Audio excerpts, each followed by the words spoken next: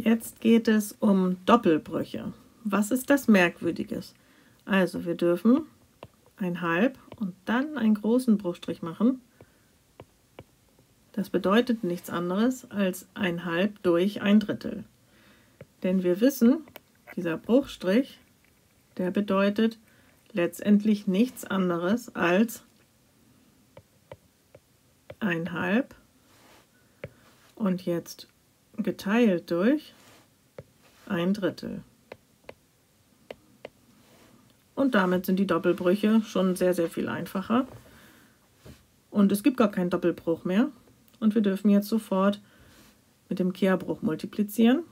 Also ein Halb mal drei Eintel und Zähler mal Zähler, Nenner mal Nenner und den unechten Bruch umschreiben in einen gemischten Bruch.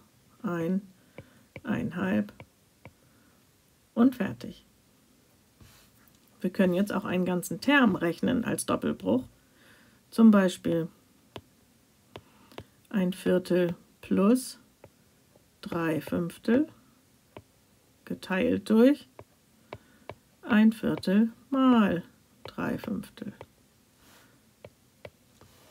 Das machen wir, indem wir erstmal im Zähler oben alles ausrechnen und im Nenner unten alles ausrechnen und dann unseren nächsten Trick anwenden.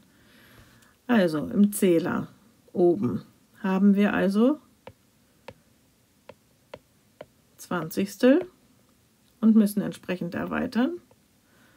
5 und 12 Zwanzigstel. Im Nenner müssen wir multiplizieren, also Zähler mal Zähler und Nenner mal Nenner. Jetzt müssen wir oben im Zähler noch ausrechnen. Das sind also 17 Zwanzigstel durch 3 Zwanzigstel.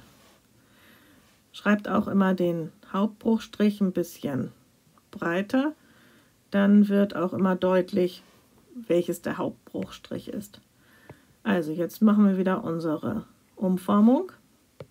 Das heißt 17 Zwanzigstel geteilt durch 3 Zwanzigstel.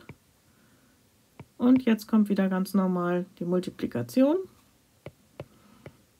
17 Zwanzigstel mal 20 Drittel.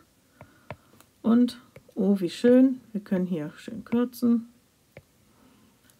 Und dann ist das Ergebnis 17 Drittel oder 5 Ganze und 2 Drittel. Und so rechnet man Doppelbrüche.